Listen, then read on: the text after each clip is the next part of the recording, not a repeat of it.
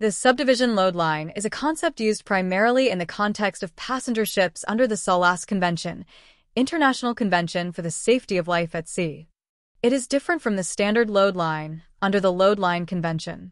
Here's a breakdown of the key concepts and relationships. Small Blue Diamond, what is a subdivision load line? A subdivision load line is a special load line assigned to a passenger ship that indicates the maximum depth to which the ship can be loaded while still complying with the damage stability requirements of SOLAS, Chapter 2-1. It reflects the ship's capability to remain afloat and stable if certain compartments are flooded due to damage, essentially how well the ship is subdivided internally to limit flooding. Small Blue Diamond purpose of the subdivision load line to ensure the ship remains safe and stable even after sustaining damage to its hull. It provides a margin of safety for passenger ships, especially in the event of collision or grounding. Prevents overloading beyond the ship's capacity to comply with damage survivability standards. Small Blue Diamond Why is it required? Passenger ships carry many lives, and unlike cargo ships, a loss of stability due to flooding could have catastrophic consequences. Thus, SOLAS requires that these vessels meet specific probabilistic damage stability criteria, which are represented by the subdivision load line.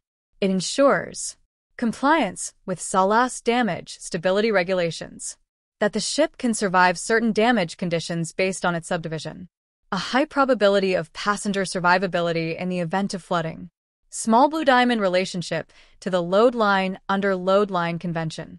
If the subdivision load line is lower than the regular load line, then the subdivision load line governs, i.e., the ship must not load deeper than this line, even if the regular load line allows more. The main differences between subdivisional load line as per SOLAS and load line under load line convention is stated below for reference. Factors in assigning subdivision load line. 1. Length of the ship. The longer the ship, the greater the risk of extensive flooding during collisions or accidents. SOLAS requirements vary based on length, for example, different damage assumptions, example, single versus multiple compartment flooding, apply based on ship size. Longer ships must typically meet stricter subdivision requirements. 2. Number of passengers carried. More passengers mean higher risk and stricter subdivision requirements. SOLAS mandates increased damage survivability based on passenger capacity. Ships carrying a large number of passengers must withstand flooding in multiple compartments to allow safe evacuation and prevent capsizing. 3. Watertight subdivision arrangement. This refers to how the ship is divided by watertight bulkheads into compartments. More and better placed bulkheads mean flooding can be contained to fewer compartments. Transverse watertight bulkheads separate compartments along the length. Longitudinal bulkheads can add further resilience. 4. Floodable length curve. A floodable length is the length of the ship that can be flooded without submerging the margin line. Calculated at various points along the ship's length to determine critical zones. The curve determines how much of the ship can flood at any section and still remain safe. Affects where watertight bulkheads must be located. 5. Margin line. Defined by SOLAS, a line drawn 76 millimeters below the top of the bulkhead deck at side.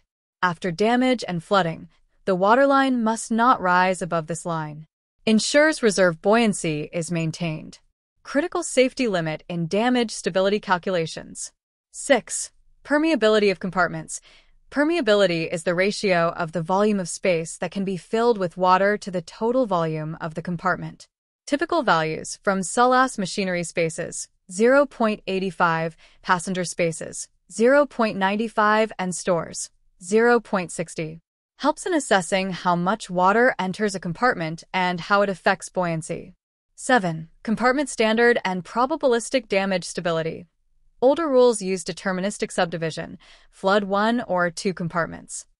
Modern SOLAS uses probabilistic damage stability, evaluates ship's ability to survive various damage scenarios, assigns probabilities to different damages and calculates an A index, actual survivability, and compares it to R index, required. Subdivision load line is assigned such that A greater than or equal to R. 8. Damage assumptions, extent, and location. The assumed damage length is specified by SOLAS depending on ship's length. Damage can be side collision damage, bottom damage. Calculations must consider the worst-case flooding scenarios. 9. Trim and heel after damage The ship must not develop excessive. Trim and heel. Excessive angles can hinder evacuation and stability. Damage stability analysis ensures the ship stays within acceptable limits. 10. Freeboard and deck immersion.